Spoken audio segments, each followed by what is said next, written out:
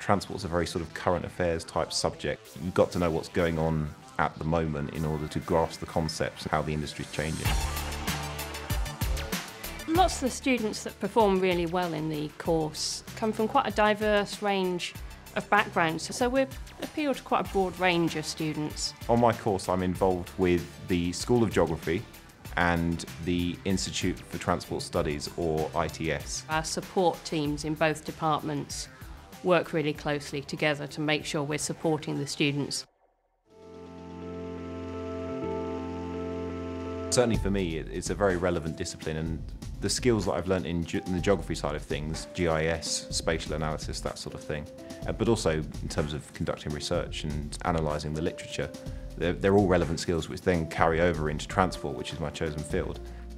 You get all the core best bits of BA geography and then you get some transport added on which is like sort of bells on it. Definitely a lot of overlap between the two. One without the other would be would be difficult to excel in transport, definitely. And come out saying, I can think about how this theory actually works in practice. I've got a specialism in an applied area. We are very research focused and we're very cutting edge and that comes straight into our work. From a lecturer and researcher point of view, there's a lot of enthusiasm um, you can tell in the way that people teach their subjects. It's that real world context that we will bring in, and you get that throughout all of the modules. I've got a good relationship with all of my fellow students as well. You, you get to know them on a personal level because, you know, the, the lecture, lectures are so small.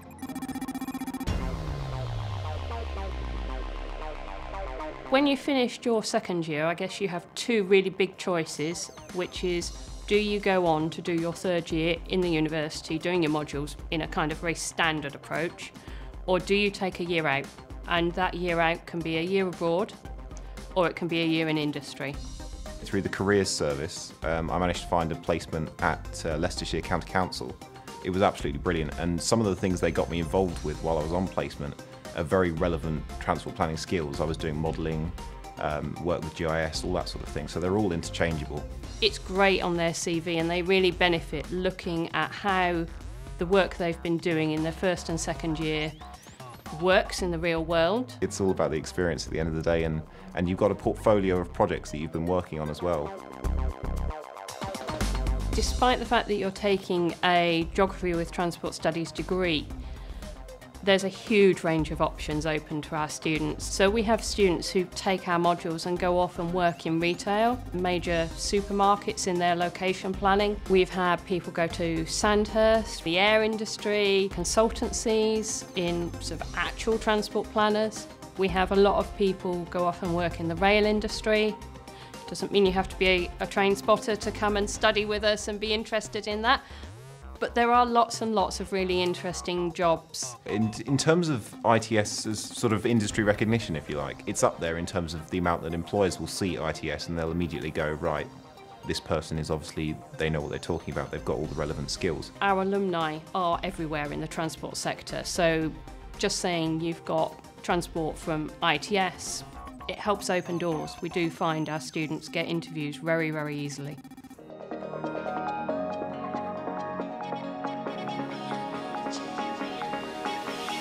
In terms of for transport planning, but also the cross-discipline into geography, it's definitely the best university in the country for that.